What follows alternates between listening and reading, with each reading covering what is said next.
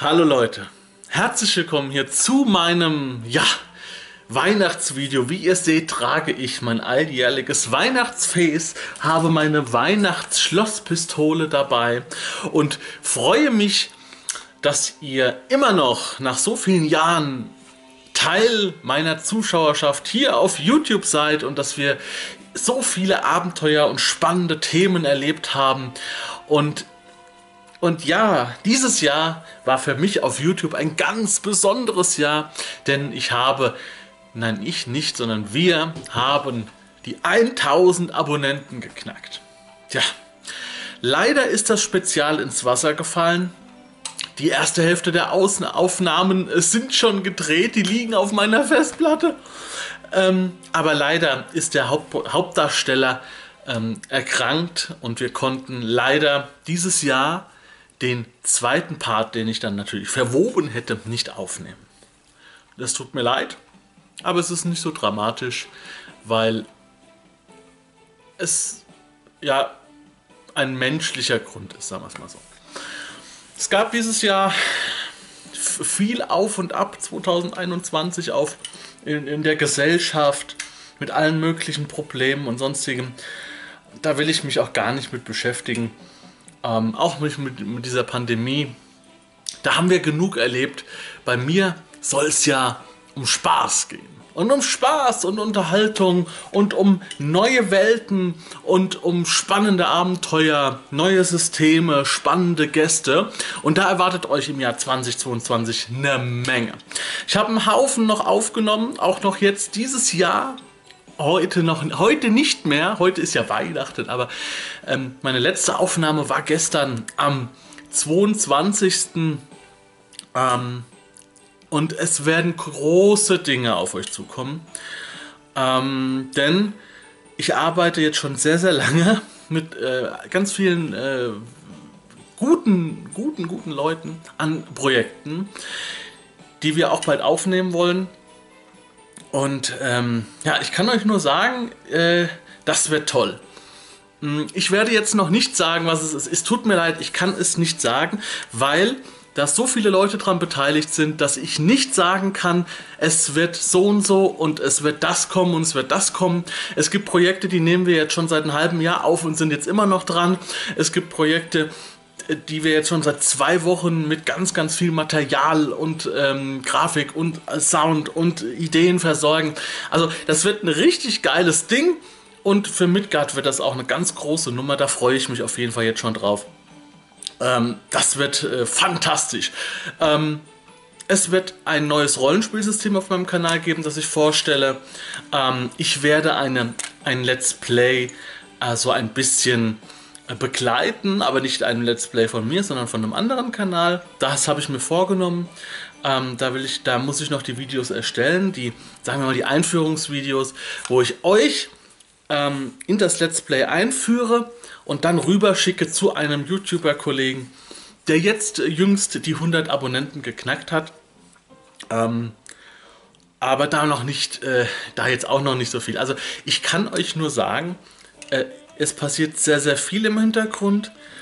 Ähm, ich habe so viele Videos produziert ähm, und habe jetzt den Rücken frei, um wieder mehr ähm, mehr Arbeit in verschiedenste Projekte zu stecken. Deswegen produziere ich auch oft Videos so vor, damit ich halt äh, mehr Zeit habe für die anderen Projekte. Ne? Und deswegen gibt es auch manchmal so ein bisschen kürzere Videos oder manchmal so welche, die ein bisschen einfacher gestaltet sind. Und dafür gibt es aber nächstes Jahr dann die volle Härte. Ähm, Fate ist dabei. Midgard natürlich generell ist dabei.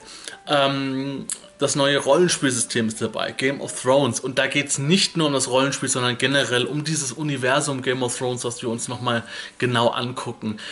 Ähm, ganz, ganz viele Gäste.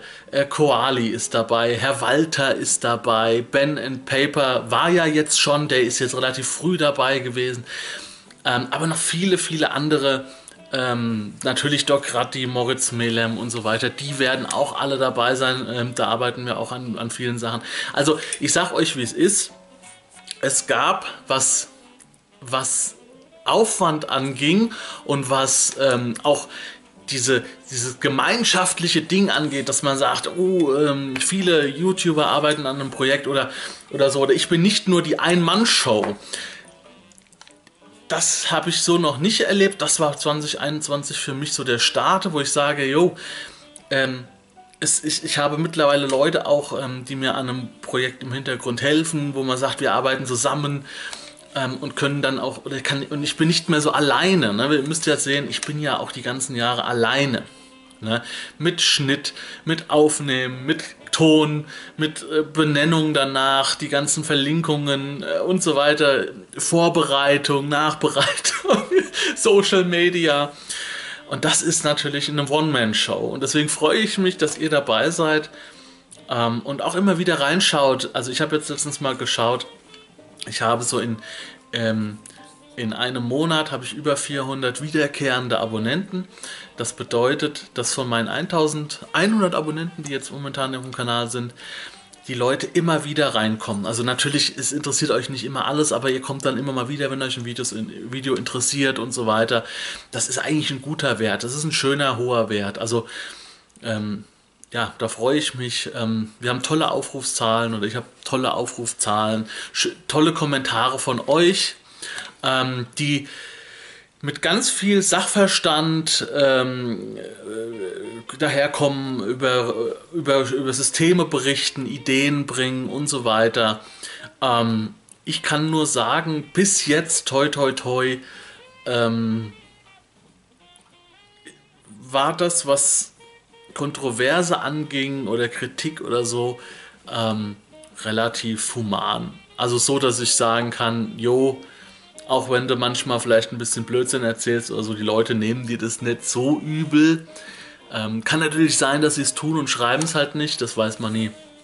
Aber ich versuche immer authentisch zu sein, meine Ecken, meine Kanten zu haben. Ähm, und ich hoffe, ja, dass äh, ich nicht vielen von euch irgendwie, ohne es zu wissen, ähm, vielleicht irgendwie, weiß ich nicht, doof rüberkomme oder so. Keine Ahnung.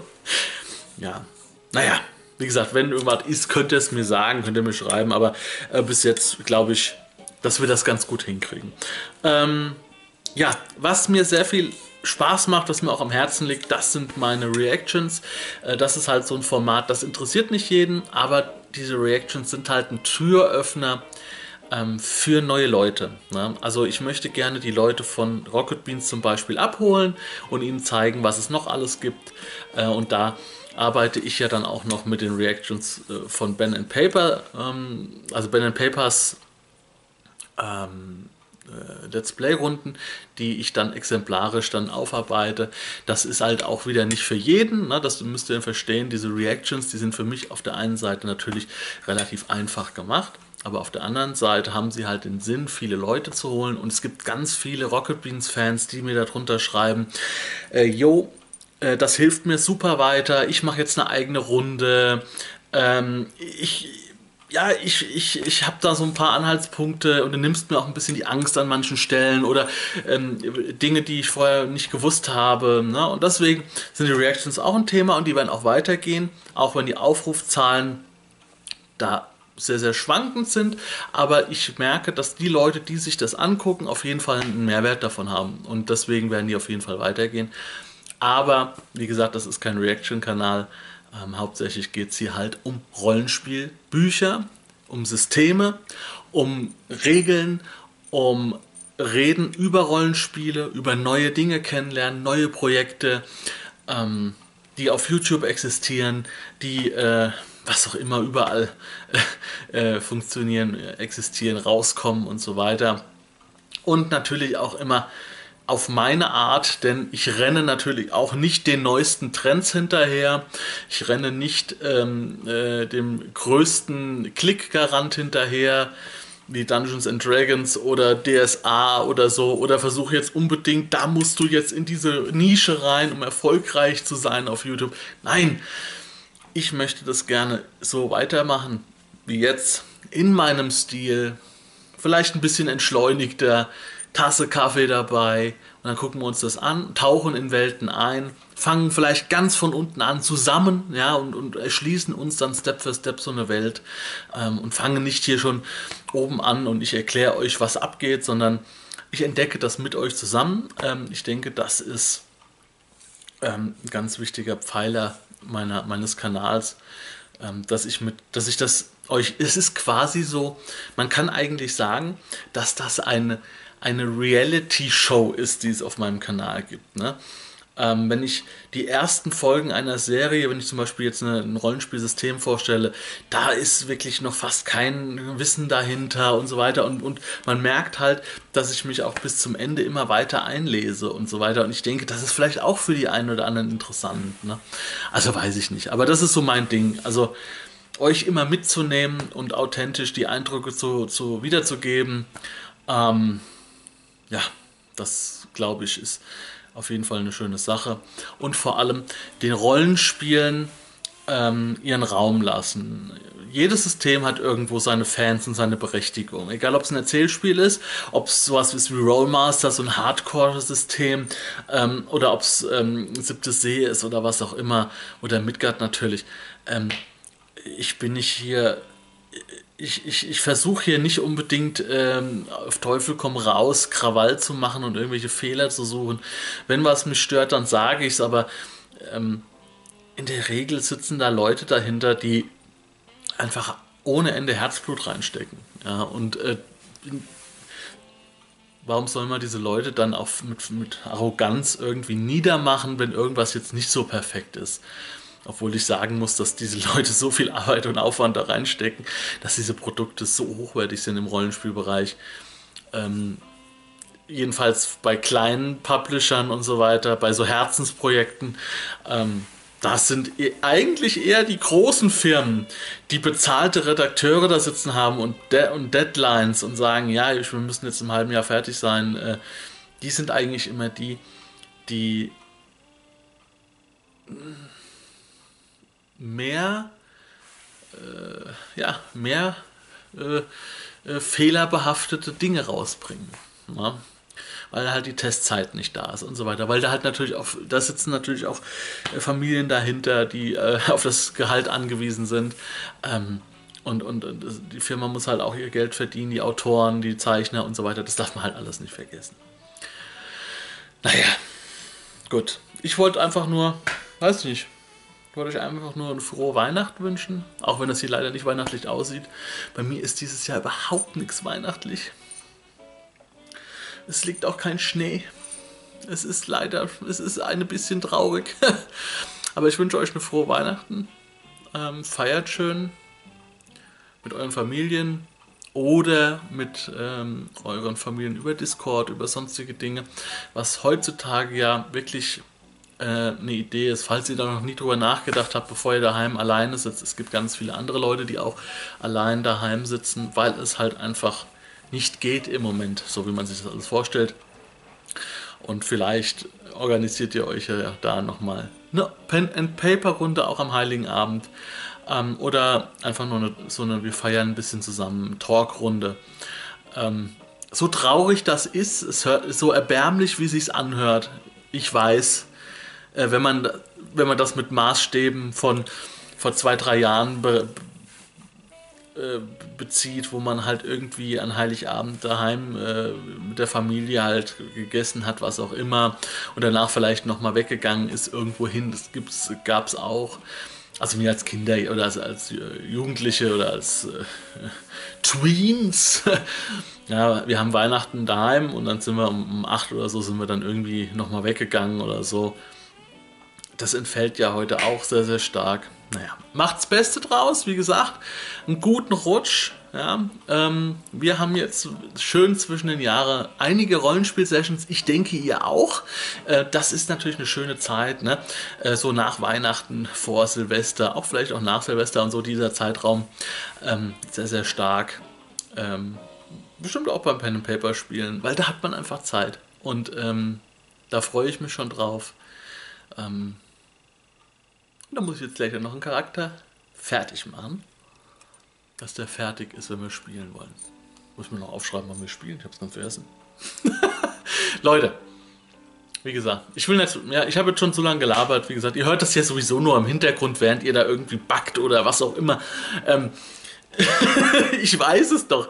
Ich mache das doch auch. Ich höre doch auch ganz, ganz viele Videos nur und äh, schaue sie mir nicht an. Das war's von äh, mir, von Miki und von Kiki. Wir wünschen euch, wie gesagt, noch eine schöne Zeit.